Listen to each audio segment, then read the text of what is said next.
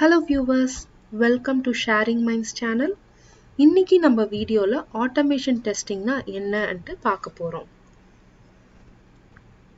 Automation testing பார்க்குறதுக்கு முன்னாடி manual testing and automation testing என்ன டிஃப்ரென்ஸ்ன்றதை நம்ம பார்த்துப்போம்.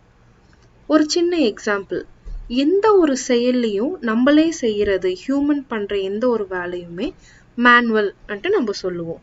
அதே அந்த வேலையை ஈஸியாக்க ஒரு மிஷினை வச்சு பண்றது ஆட்டோமேட்டட் சொல்லுவோம். அதே கான்செப்ட் தான் சாஃப்ட்வேர் டெஸ்டிங்லயும் நம்ம ஒரு அப்ளிகேஷனோ சாஃப்ட்வேரோ எக்ஸாம்பிள் ஒரு Google page or Facebook page எதையுமே நம்மளே ஓப்பன் பண்ணி டெஸ்ட் பண்றது. அதை மேனுவல் டெஸ்டிங் சொல்லுவோம்.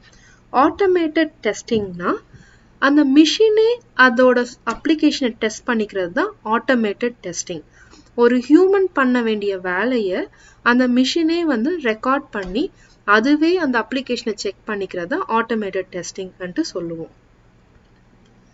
சரி எதுக்கு இந்த ஆட்டோமேஷன் டெஸ்டிங் இதனால என்ன பெனிஃபிட்ஸ் இருக்குன்றத பார்ப்போம்.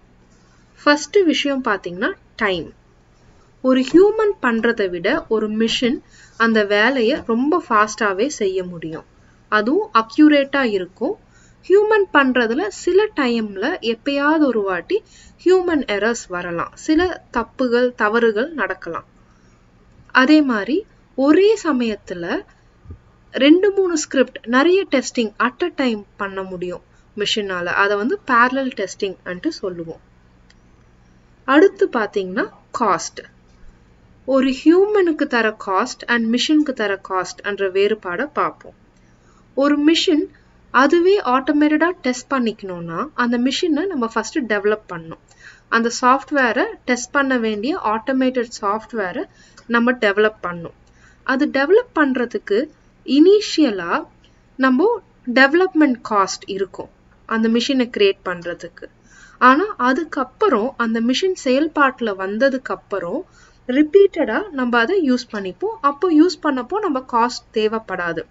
ஆனா டெவலப்மெண்ட் காஸ்ட் இருக்கும். இதை தான் ரிட்டர்ன் ஆஃப் இன்வெஸ்ட்மெண்ட் ஆர்ஓஐ என்ற ஒரு டெர்மினாலஜியில் சொல்லுவாங்க.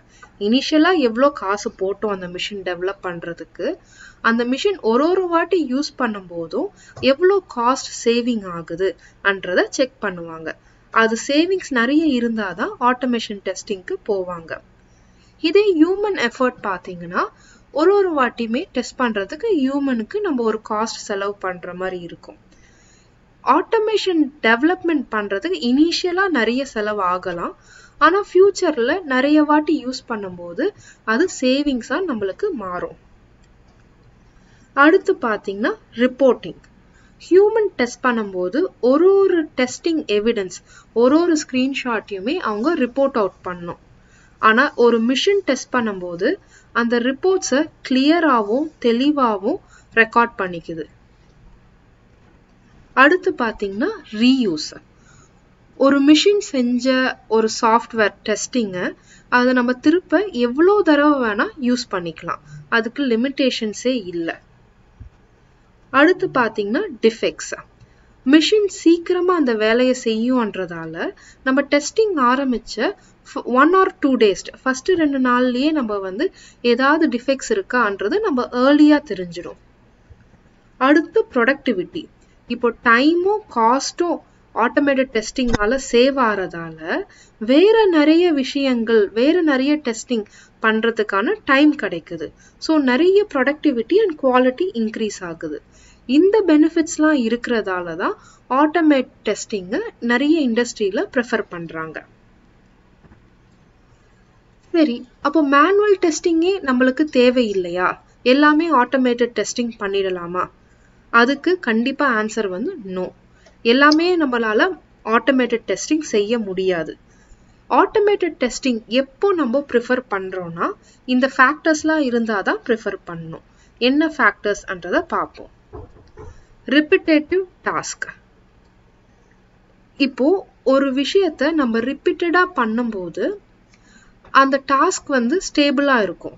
ஃபார் எக்ஸாம்பிள் ஒரு ஃபேஸ்புக் பேஜை நம்ம ஓப்பன் பண்ணுறோம் அந்த பேஜில் எப்போவுமே அப்டேட்ஸ் போஸ்ட் ஏதாவது வந்திருக்கான்னு பார்க்குறோம் அப்புறம் ஃபேஸ்புக் பேஜை லாக் அவுட் பண்ணுறோம் இது ரிப்பீட்டடாக எப்போவுமே நம்ம பண்ணக்கூடிய task and stable task so இதை வந்து நம்ம ஆட்டோமேட் பண்ணி வச்சுட்டோன்னா இந்த டாஸ்கில் எந்த மாற்றமும் இல்லை. ஸோ இந்த ரிப்பீட்டேட்டிவாக இருக்கும்போது ஸ்டேபிளாக இருக்கும்போது அதை நம்ம ஆட்டோமேட் செஞ்சு வச்சுக்கலாம்.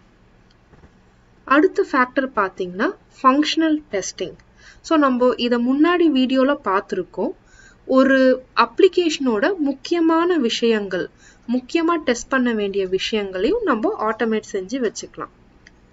அடுத்து performance and load testing performance and பார்த்தீங்கன்னா ஒரு அப்ளிகேஷனால் எவ்வளோ ஃபாஸ்ட்டாக ரெஸ்பான்ஸ் பண்ண முடியும்? அண்ட் லோட் டெஸ்டிங்னா நிறைய பேர் அட் அ டைம் அந்த அப்ளிகேஷனை யூஸ் பண்ணால் எப்படி அது ரெஸ்பாண்ட் பண்ணுது? அன்றது தான் பர்ஃபார்மன்ஸ் ஆர் லோட் டெஸ்டிங் இதையும் நம்ம ஆட்டோமேட் பண்ணிடலாம். அடுத்து பார்த்தீங்கன்னா அட்வான்ஸ்ட் ஜியூஐ ஸோ இப்போது ஒரு ஜி ஒரு யூசர் இன்டர்ஃபேஸில் இமேஜஸ் இல்லை ஃபேஸ் ரெகக்னிஷன் ஆர் டேபிள் அந்த மாதிரிலாம் இருந்துச்சுன்னா காம்ப்ளெக்ஸாக இருந்துச்சுன்னா அதை வந்து நம்ம ஆட்டோமேட் பண்ணிட்டு டெஸ்ட் பண்ணுறது ஈஸியாக இருக்கும். அடுத்த முக்கியமான கான்செப்ட் பார்த்தீங்கன்னா டெவ்ஆப்ஸ் ஸோ இது ஒரு பெரிய டாபிக் இதை பற்றி நம்ம டீட்டெயில்டாக இன்னொரு வீடியோவில் பார்ப்போம் பட் இந்த வீடியோக்கு என்ன தேவைன்றதை மட்டும் நான் சொல்கிறேன் இப்போ நம்ம டெஸ்டிங் பண்ணும்போது ஒரு அப்ளிகேஷனை டெவலப் பண்ணுறோம் அடுத்து அதை டிப்ளாய் பண்ணுறோம் அடுத்து டெஸ்டிங் ஃபேஸுக்கு போகுது. டெஸ்டிங்கில் நிறைய டெஸ்டிங் இருக்குன்னு பார்த்தோம். Unit testing system testing functional testing integration testing performance load testing இருக்கு. இதெல்லாம் பாஸ் ஆனாதான் நம்ம ப்ரொடக்ஷனுக்கு டிப்ளாய் பண்ணுறோம் கஸ்டமர் யூஸுக்கு நம்ம ப்ரொடக்ஷனில் விடுறோம். ஸோ இந்த ஸ்டெப்ஸ் இருக்குல்ல டெவலப்மெண்ட் டெஸ்டிங் அதுக்கப்புறம் ப்ரொடக்ஷன் டிப்ளாய்மெண்ட் இது எல்லாமே ஹியூமனோட இன்டர்ஃபரன்ஸ் இல்லாமல் அதுவே ஆட்டோமேட்டடாக ஒரு ஒரு ஸ்டெப்பையும் செய்கிறது தான் டெவ்வாப்ஸ் கான்செப்ட் அன்ட்டு சொல்லுவாங்க. ஸோ இந்த டெவ்ஆப்ஸ் கான்செப்ட் நம்ம பண்ணணும்னா நம்ம டெஸ்டிங் எல்லாமே ஆட்டோமேட்டடாக இருந்தால் மட்டும்தான் இந்த டெவ்ஆப்ஸ் கான்செப்டை அச்சீவ் பண்ண முடியும்.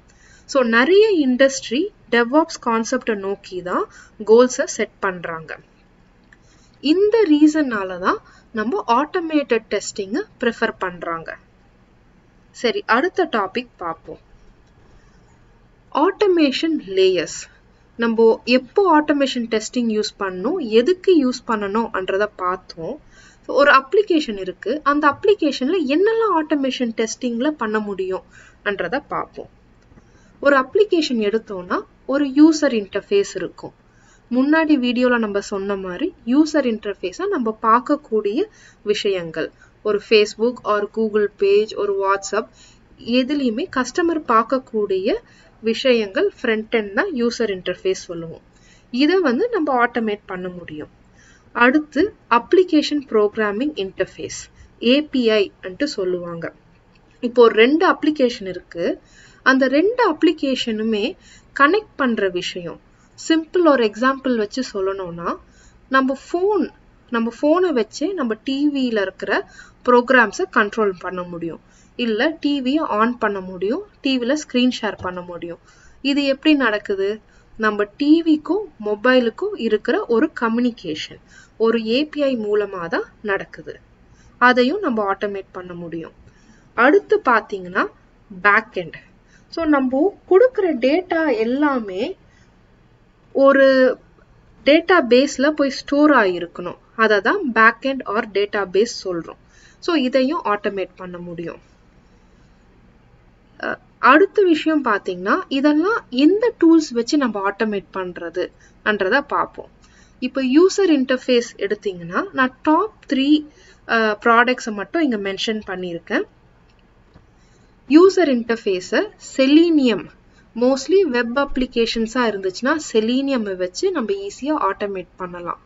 அடுத்து யூனிஃபைட் ஃபங்க்ஷனல் டெஸ்டிங் யூஎஃப்டி அன்ட்டு சொல்லுவோம் இன்னொரு product as well as test complete and இன்னொரு ப்ராடக்ட் இதெல்லாம் டாப் யூஸ்ட் ப்ராடக்ட்ஸ் இந்த இண்டஸ்ட்ரி இதெல்லாம் வச்சு நம்ம யூசர் இன்டர்ஃபேஸ் நம்ம யூசர் பண்ண வேண்டிய ஃபங்க்ஷனாலிட்டிஸ் எல்லாமே நம்ம ரெக்கார்ட் பண்ணி ஈஸியாக ஆட்டோமேட் பண்ணலாம். அடுத்து ஏபிஐ அப்ளிகேஷன் ப்ரோக்ராமிங் இன்டர்ஃபேஸ் பார்த்தீங்கன்னா SOAP UI Postman REST assured இந்த ப்ராடக்ட்ஸை வச்சு நம்ம டெஸ்ட் பண்ண முடியும். இதெல்லாம் எப்படி பண்ணலான்றத டீட்டெயில்டா வாஸ்ட் டாபிக் நம்ம ஃபியூச்சர் வீடியோஸ்ல பார்ப்போம் நெக்ஸ்ட் பேக் எங்கே எங்க நம்மளோட டேட்டா போய் ஸ்டோர் ஆகுது? அந்த விஷயத்த நம்ம மை சீக்வல் டோட் ஃபிட்னஸ் அந்த டேட்டாவை நம்ம இதெல்லாம் வச்சு ஆட்டோமேட்டடாக டெஸ்ட் பண்ணலாம். அடுத்த டாபிக் பார்த்தீங்கன்னா ஆட்டோமேஷன் பிரமிட். ஸோ இப்போ ஆட்டோமேஷன் லேயர்ஸை பார்த்தோம். ஒரு அப்ளிகேஷனில் எங்கெல்லாம் நம்ம ஆட்டோமேஷன் டெஸ்டிங் பண்ண முடியும்ன்றதை பார்த்தோம். Next different levels of automation என்ன இருக்குன்றத பார்ப்போம். ஸோ நம்ம முன்னாடி பார்த்த மாதிரியே user interface API data base இந்த விஷயம்லாம் பண்ணுறது வந்து பேசிக் ஆட்டோமேஷன் யூஸ்வலாக எல்லா அப்ளிகேஷனுக்குமே நம்ம இதெல்லாம் டெஸ்ட் பண்ணுவோம். அண்ட் அதுக்கு என்னென்ன டூல்ஸை வச்சு டெஸ்ட் பண்ணுவோன்றத ஏர்லி ஸ்லைடில் நம்ம பார்த்தோம். நெக்ஸ்ட் ஜென் ஆட்டோமேஷன் பார்த்தீங்கன்னா அதுக்கு அடுத்த லெவல் இப்போ நான் கோடிங்கே பண்ணாமல் ஆட்டோமேஷன் எப்படி கிரியேட் பண்ண முடியும்? அதுக்கு சில ப்ராடக்ட்ஸ் இருக்கு. டாஸ்கா யூஎஃப்டி ஒன் அதே மாதிரி ஃபேஸ் ரெகக்னிஷன் இருக்கு. அதெல்லாம் எப்படி டெஸ்ட் பண்ண முடியும்? இமேஜ் வேலிடேஷன் இருக்கு. ரெண்டு இமேஜும் ஒரே மாதிரி இருக்கா? அதோட பிக்சல்ஸ் கரெக்டாக இருக்கா? அன்றதை நம்ம எப்படி செக் பண்ண முடியும்? அன்றதான் நெக்ஸ்ட் ஜென் ஆட்டோமேஷன் அடுத்து பார்த்தீங்கன்னா ரொபோட்டிக்ஸ் ப்ராசஸ் ஆட்டோமேஷன் இது robotics process automation algorithmic automation and artificial intelligence இதெல்லாமே டாப் ட்ரெண்டிங் ஆட்டோமேஷன் இந்த இண்டஸ்ட்ரி இது எல்லாமே இப்போ ரீசண்டாக ட்ரெண்டிங் ஆகிற விஷயம். ஸோ குவிக்காக ஒரு ஜஸ்ட் என்ன? அதை பற்றி ஒரு சின்ன ஓவர்வியூ பார்ப்போம். ரொபோட்டிக் ப்ராசஸ் ஆட்டோமேஷன் என்னன்னா ஒரு ஹியூமன் செய்ய வேண்டிய வேலை எல்லாமே ஆட்டோமேட் பண்ணுறதா ரொபோட்டிக் ப்ராசஸ் ஆட்டோமேஷன் ஒரு எக்ஸாம்பிள் எடுத்துக்கிட்டோம்னா ஒரு இன்சூரன்ஸ் நம்ம எடுக்கிறோம். அந்த இன்சூரன்ஸை நம்ம ஒரு இன்சூரர் கிட்ட போய் சப்மிட் பண்றோம். அவர் அதை அப்ரூவ் பண்ணிட்டு அவரோட மேனேஜருக்கு அனுப்புவார். அதை அந்த மேனேஜர் ஒரு வாட்டி ரிவ்யூ பண்ணிட்டு அவர் வந்து அடுத்த லெவலுக்கு அனுப்புவார்.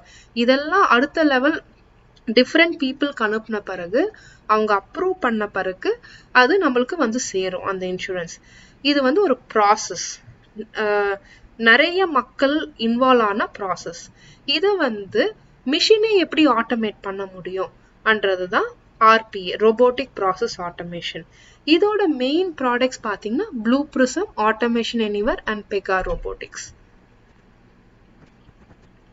அடுத்து அல்காரதமிக் ஆட்டோமேஷன் ஸோ இதில் மிஷின் லேர்னிங் என்ற ஒரு கான்செப்ட் இருக்கு. ஸோ நம்ம யூஸ்வலாக மிஷினில் செய்கிற எல்லா வேலையுமே மிஷினே லேர்ன் பண்ணிட்டு அதை எஃபிஷியண்ட்டாக எப்படி பண்ண முடியும் அன்றது தான் அல்கார்தமிக் ஆட்டோமேஷன்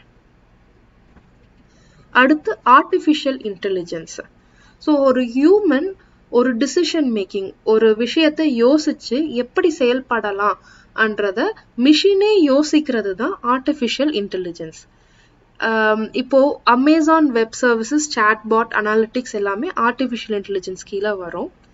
இப்போ சாட்பாட் எக்ஸாம்பிள் எடுத்துக்கிட்டிங்கன்னா நீங்கள் இப்போ உங்களோட ஃபோன் ப்ரொவைடர் கிட்ட சேட் பண்ணணும். கஸ்டமர் கேர் கிட்ட பேசணும்னு நினைச்சீங்கன்னா இப்போ எல்லாருமே சேட் பாட்ஸ் வச்சிருக்காங்க. ஹியூமன் உட்காந்து டைப் அடிக்கிறது இல்லை ஸோ ஒரு மிஷினே வந்து உங்களோட பேசும்.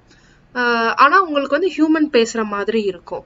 அவங்க என்ன விஷயம் என்ன ப்ராப்ளம் தெரிஞ்சு அந்த மிஷினே அதுக்கு ஆன்சர் தரும். ஸோ அதுதான் சேட் பாட்ஸ் ஸோ ஒரு ஹியூமன் திங்க் பண்ற மாதிரி ஒரு மிஷின் திங்க் பண்ணி செயல்படுறது தான் ஆர்டிஃபிஷியல் இன்டெலிஜென்ஸ் அடுத்த டாபிக் பார்த்தீங்கன்னா automation testing process so automation பற்றி நிறைய கான்செப்ட்ஸ் பார்த்தோம். எப்படி நம்ம ஆட்டோமேஷன் செய்ய போகிறோம்ன்றத பார்க்குறோம் ஸோ டெஸ்ட் டூல் செலெக்ஷன் இது நம்ம முன்னாடியே பார்த்தோம். டிஃப்ரெண்ட் லேயர்ஸ் ஆஃப் ஆட்டோமேஷன் என்ன? அப்புறம் அதோட லெவல்ஸ் என்ன? ஒரு ஒரு லேயராக இருந்துச்சா என்ன ப்ராடக்ட்ஸ்லாம் யூஸ் பண்ணி நம்ம அதை ஆட்டோமேட் பண்ணலாம்ன்றதை பார்த்தோம். அதுதான் டெஸ்ட் டூல் செலெக்ஷன் அடுத்து ஆட்டோமேஷன் ஸ்கோப் நம்ம என்ன ஆட்டோமேட் பண்ண போகிறோம் அன்றதை நம்ம டிஃபைன் பண்ணிக்கணும். நான் வெப்பேஜை ஃபேஸ்புக் வெப்பேஜ் ஆட்டோமேட் பண்ண போகிறேன் அதில் லாகின் லாக் அவுட் ஆட்டோமேட் பண்ண போகிறேன் அன்ற மாதிரி நம்மளோட ரெக்குவயர்மெண்ட்டை டிஃபைன் பண்ணிக்கணும். அடுத்து பிளானிங் ஸோ எவ்வளோ நாளில் நம்ம ஆட்டோமேட் பண்ண போகிறோம் அதெல்லாம் பிளானிங் கீழே வரும். அடுத்து டிசைன் அண்ட் டெவலப்மெண்ட் ஸோ நம்ம டெஸ்டிங்க்கு நம்ம டிசைன் பண்ணுறதை பார்த்த மாதிரியே தான் ஆட்டோமேஷன் கோட் டிசைன் அதுக்கு ஒரு டெஸ்ட் கேஸ் நம்ம எழுதணும் டெஸ்ட் சினாரியோஸ் எழுதணும். அதுக்கப்புறம் டெவலப்மெண்ட் கோடிங் பண்ணணும். அடுத்து கோடிங் பண்ண முடிச்ச பிறகு அதை டெஸ்ட் பண்ணணும். ஸோ அந்த ஆட்டோமேஷனை ரன் பண்ணால் நம்ம சொன்ன வேலை எல்லாமே அந்த ஆட்டோமேஷன் கோட் வந்து அதுவே வந்து எக்ஸிக்யூட் பண்ணி ரிசல்ட் தருதான்றத நம்ம பார்க்கணும். அடுத்து அந்த ப்ரா அந்த சல்யூஷனை நம்ம கிரியேட் பண்ண அந்த ஆட்டோமேஷனை நம்ம மெயின்டைன் பண்ணிக்கணும். ஏன்னா ரிப்பீட்டடாக நம்ம அதை யூஸ் பண்ண போகிறோம் இன்கேஸ் நம்ம பண்ணி வச்சிருந்த ஆட்டோமேஷன் ஏதாவது சேஞ்சஸ் தேவைப்பட்டுச்சுன்னா அதை நம்ம சேஞ்ச் பண்ணி திருப்பி மெயின்டைன் பண்ணுறது தான் மெயின்டெனன்ஸு ஸோ ஆட்டோமேஷன் டெஸ்டிங் பற்றியான ஓவர் வியூவை நம்ம டீட்டெயில்டாக பார்த்தோம். ஹோப் எல்லாருக்கும் பிடிச்சிருக்கும்னு நினைக்கிறேன். அடுத்த வீடியோவில் நம்ம ஆட்டோமேஷன் ஃப்ரேம் ஒர்க்ஸ் என்ன different type of frameworks இருக்குது அதோட யூசேஜ் என்ன அது எப்படி செயல்படுத்துறதுன்றத பார்ப்போம் hope you you all like this video உங்களுக்கு இந்த வீடியோ பிடிச்சிருந்தா லைக் பண்ணுங்க ஷேர் பண்ணுங்க சப்ஸ்கிரைப் பண்ணுங்க. தேங்க்யூ